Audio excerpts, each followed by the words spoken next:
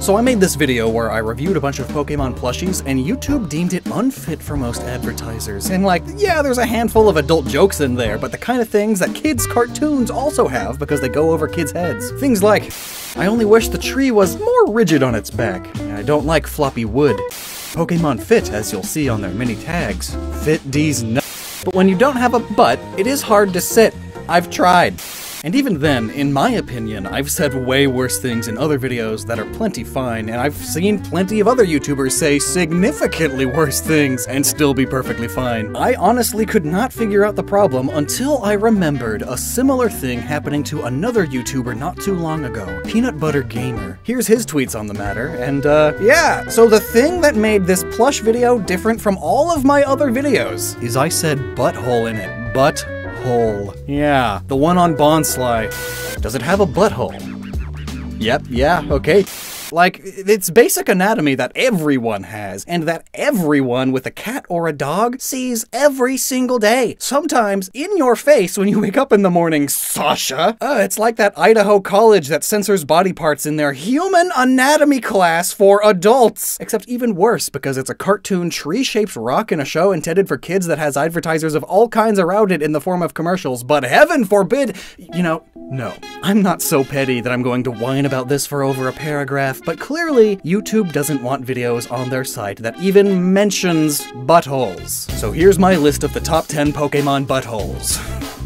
And obviously this video is going to have limited ads or even be demonetized, so I am especially grateful for today's sponsor. Wanna get real sticky? Today's sponsor is Sakuraco and Tokyo Treat. Each wants to send you boxes of goodies from Japan. Sugary delicacies, bountiful breads. With Sakura your monthly boxes include 20 traditional and artisan snacks and treats. The theme this month is especially special too tea time in Yokohama. They have partnered with the Kanagawa government and local businesses to bring you a truly one of a kind box design, filled with traditional Yokohama confectionaries, snacks, and teas. And each also contains a specially crafted Japanese tableware. And with Tokyo Treat, you will get up to 20 of the latest, greatest limited edition and seasonally flavored snacks only available in Japan for a limited time. As a Zingy Chip. And Tokyo Treats theme this month? Summer Matsuri! Festival foods all around! This time I have to give the win to Tokyo Treat, all because of the Yaokin Fugashi. It's like a wheat cotton candy that they barbecued or something. Each box also comes with educational booklets too, giving you explanations of what everything included is, and even some historical and cultural tidbits. It's always a pleasant journey to Japan, all in the comfort of your own mouth. If you order your Tokyo Treat or Sakura Sakuraco box by June 30th, you'll receive the same box I showed off here. And when you order, be sure to use the coupon code LOCKSTIN for $5 off. The link is down below. So, hey, are there even 10 Pokemon with visible buttholes? No, there's more! First of all, take the one already mentioned, Bonsly. Bonsly is a sly bonsai tree. What's so sly about it? Well, it's a fake bonsai tree! It's made of stone! And it's a baby Pokemon too, Sudowoodo, who is also a fake tree. It's pseudo wood. Oh. But the thing about baby Pokemon is that all of them have a baby trait or two, be it screaming really loudly, playing with baby dolls, snot dribbling, diaper wearing, etc., etc. And in the case of Bonsly, it cries a lot, first of all, but fake tears to get your attention, and also to release the built up moisture inside of itself. Uh, but also, it has a butthole. What is a baby, if not an eating, crying, and pooping machine? While yes, this hole also resembles the hole in the bottom of a potted plant, you can't say that Game Freak didn't also think of it as a little butthole, now could you? You see little buttholes on anime animals all the time, and they definitely used this potted plant aspect as the perfect way to slide in a butthole reference. How sly of them! And this isn't even the only sort of artificial butthole on a Pokemon. Hisuian Electrode has one too, though that may be a non-intended coincidence, since it is an upside-down Hisuian Voltorb who has the hole on top of its head. You see, it's the hole that's on top of a ball of fireworks that the fuse goes into, while also being the hole that seeds come out of on a seed bomb or seed sprinkler used in guerrilla gardening. But yeah, when it evolves, now it's a butthole, and it poops out the seeds, which is actually a reference to a strategy that a lot of plants and animals use. A lot of animals can't digest certain seeds, so when they eat a plant or a fruit, they later poop out those seeds, and then the plant grows somewhere else. It's the same deal, except it's electrode. But okay. Do these really count? I'd say yes, but I get it. Or yes, but I get it. So here's a more stylish, biological butthole. It's on 10% Zygarde. It's a dog, sort of a Doberman pinscher with a scarf or a leash, yeah? And as any dog owner will tell you, they have buttholes. And when you take them out for a walk on a leash, like this Zygarde, those dogs will often use them. And any respectable dog owner will have to pick up that duty. It's duty duty. It's their duty duty duty. However, this extremely common real life aspect that everyone use does, uh, don't don't you dare talk about it on YouTube. It's bad. Anyway, as you can see, Zygarde has this hexagon spot right on its butthole. Is it functionally a butthole, though? No, just stylistically one. Zygarde is made up of many of these large cells, and they combine to form different forms. But you know that the designers put this spot specifically right here on purpose. You don't accidentally do that, especially as, again, plenty of anime cats and dogs get little stylized buttholes in their design because it's basic anatomy that everyone sees on cats and dogs. And Zygarde here makes sure you see it because sometimes it glows hilarity. Just like Stunky. It's hilarious. Stunky and Skuntank are skunks, which famously shoot super smelly liquid from their butts to deter predators. And I mean, listen to their original cries. That's a fart sound effect. These Pokemon are walking fart jokes, but of course, giving them an actual butthole would be too much since they are already all about stinky butt stuff. So, Skuntank shoots its poison stink from the end of its tail, which it keeps in front of it, firing like the gun of a tank. But that didn't stop Game Freak from giving them butt faces. How cheeky. Their faces, especially Stunky's, resembles a human butt. And because of this, doesn't this mean Stunky's mouth resembles a butthole? I'd say so. Enough with the jokes already. Show me a real, biologically functioning Pokemon butthole. You say? You weirdo. God, imagine being this obsessed over Pokemon buttholes. What is wrong with you? Uh, but alright, fine. After one more. It's Whismur and Loudred, two sort of generic monster Pokemon that are all about sound. Whismur is a whisper, and it likes to keep quiet, most of the time anyway. And Loudred is a loud boombox Pokemon. The symbols on their backs show how strong their Wi-Fi sig- I mean, it shows their volume. And that little hole on their bottoms? What's with that? It looks like a butthole. And that's the joke that loads of folks make all the time. And maybe, just maybe, that was intentional. It is a hole on their butt, conveniently placed. But more realistically, it probably resembles a headphone jack. I mean, it's right next to that volume symbol, and it's a boombox. You know, those 1980s, 90s sound machines that still used that outdated audio port. And now, alright, fine. Here we go with the real ones. Male Torchic has a little butthole. I mean, look at that. Why is there a single black pixel here? And why only on the male? Well, because women don't poop. Everybody knows that. But actually, it's because of vent sexing. When chicks are born, you have to separate the males from the females, but you cannot so obviously tell when they are just a chick, as they haven't developed their sexual dimorphism yet. For some western breeds of chicken, you can easily check the length of certain wing feathers, but for certain eastern breeds, it's not so simple. And so, the method that was developed in Japan involves squeezing feces out of the chick to open up its cloaca, a bird's equivalent to a butthole, and genitals, a two for one special. But obviously, this makes sexing them easier. The males have a big bump inside of their cloacas. So, uh, male Torchic gets this one dark pixel on its butt. Butt Torchic. Uh, I mean, but Torchic isn't the only bird with a butt. There's also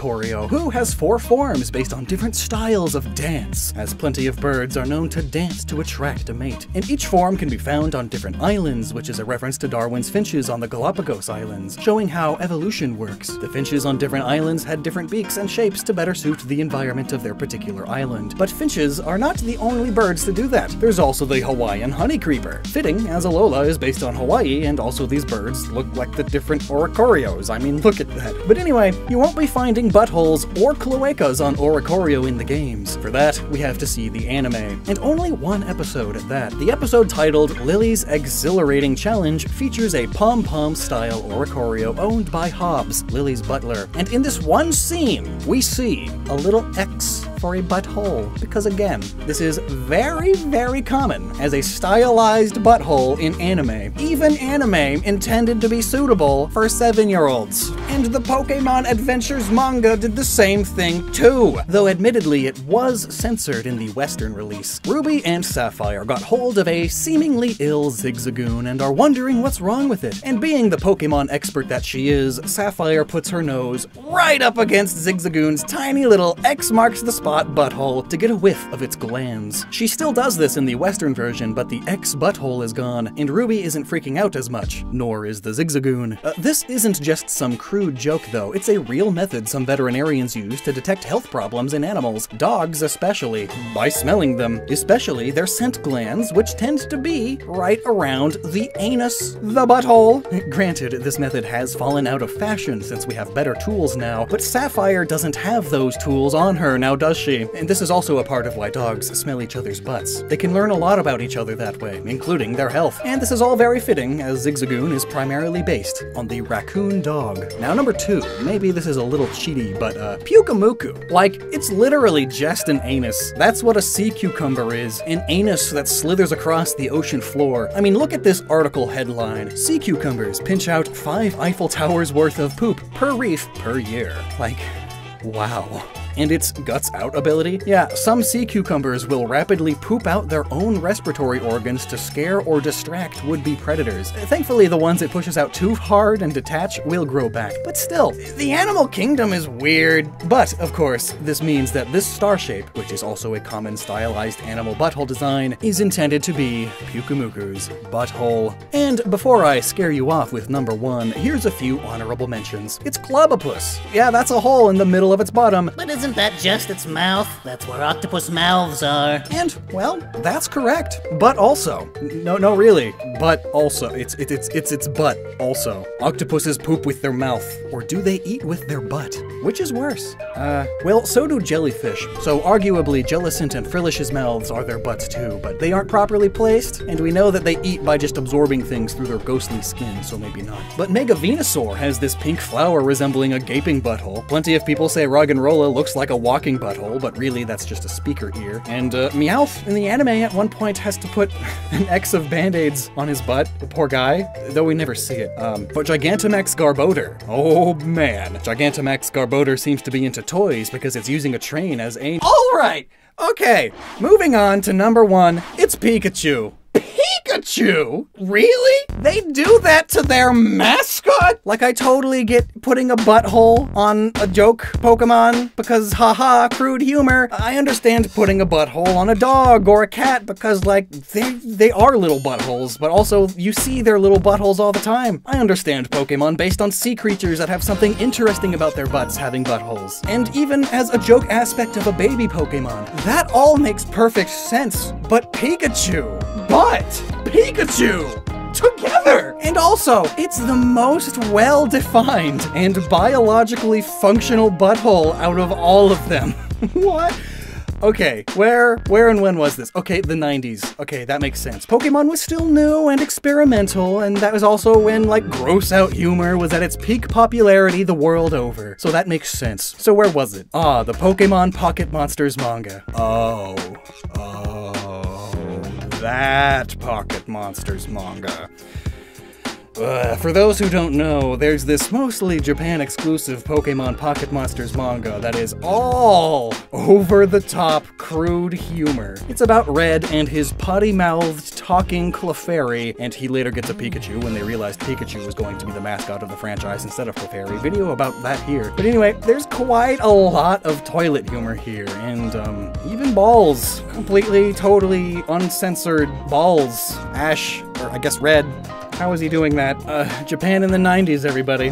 I say, as if this manga series isn't still ongoing, but it, it is it is a bit less over the top these days, though. Anyway, uh, here's Clefairy trying to light its fart on fire with Charmander's tail. Where were we? Pikachu butthole, right. As far as I can tell, there's a chapter about Pikachu needing to take a massive dump, and he does. However, Pikachu, this isn't the time to be doing something like this. Clef! and so he doesn't get to finish. But uh, later, there's some pooping with the help of Clefairy squeezing Pikachu over a river. And this time, uh, you get to see that that that puckering sphincter open as wide as it can. It has like lips. This is in a manga intended for like kids and teens.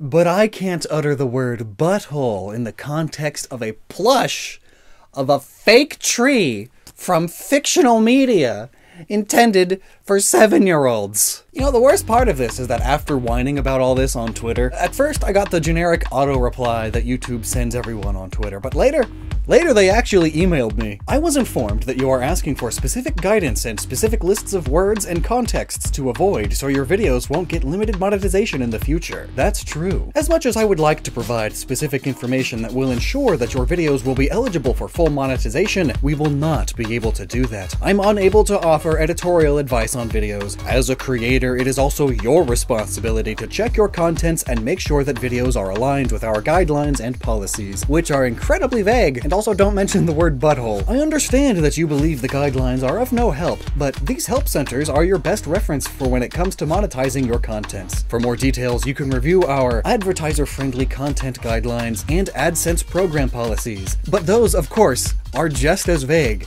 and don't mention the word butthole. I get your point when you mention that there are music videos that you think get away with explicit descriptions. I was of course referring to music videos that like talk in-depth details about sex and drugs and stuff, and it's like way like how is this allowed to be monetized? Like that's one step away from softcore porn, but okay. Sometimes videos that may otherwise violate our community guidelines may be allowed to stay on YouTube if the content offers a compelling reason with visible context for viewers. We often refer to this exception as EDSA, which stands for Educational, Documentary, Scientific, or Artistic. Um, excuse me, are you saying my review of Pokemon plushies with several attempts at comedy throughout it isn't art?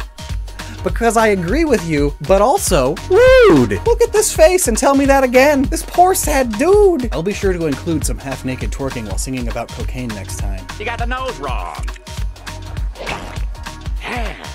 now it's hard. So hey, what buttholes did I miss? Gary doesn't count, we're being literal here. And also, I'm not sure with like Monferno, like is that a butt? It's a baboon butt, so yeah, it's a butt, but it goes all the way around the tail. I swear, it's the Chimchar doesn't have a tail, and then Infernape does. When Chimchar evolves, does a part of its intestines invert and pop out to form this tail?